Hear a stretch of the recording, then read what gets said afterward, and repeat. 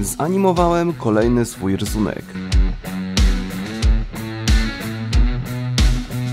Tym razem wybór padł na Leszego z Wiedźmina 3, którego stworzyłem o rok temu, natomiast tło dopiero domalowałem jakieś kilka dni temu, nieważne. Cały proces animacji zacząłem oczywiście od pocięcia postaci na fragmenty. Zamysłem animacji było to samo, co w poprzednim animowanym moim rysunku, czyli efekt oddychania postaci, unoszenie się lekko w górę i w dół. Ten sam zabieg, który stosuje Riot w swoich login screenach do League of Legends chociażby. Także cały proces animacji zacząłem od pocięcia postaci na fragmenty. Potem każdy z nich zacząłem animować. Natomiast tym razem nie bawiłem się w animację frame by frame'ową, tylko użyłem do tego motion twinów, czyli płynnych przejść między punktem A a punktem B. I wszystko spoko, tylko one cholernie palą komputer. Natomiast no, udało mi się dobrnąć do końca. Także zanimowałem głowę, tutaj korpus, całą tą szmatkę, którą tu jest on owinięty, tułów, ręce i tak dalej. Troszeczkę zwęziłem mu także rozstaw rąk. Animowanej wersji jest on troszeczkę taki smuklejszy. No i okej, okay, fajnie. Użyłem motion twinów, postać się rusza, wszystko spoko.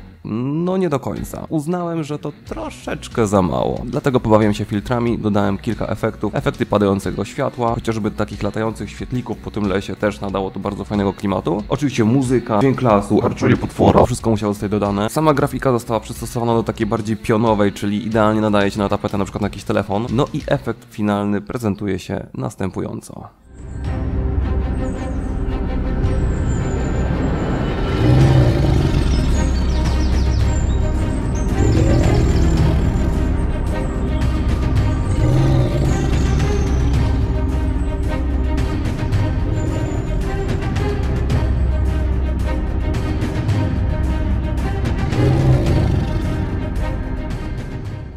Dajcie znać koniecznie, co o tym sądzicie, czy byście chcieli ustawić sobie coś takiego na tapetę na telefonie na przykład. Ja osobiście bym brał. Nawet dwie dychy mogę dać.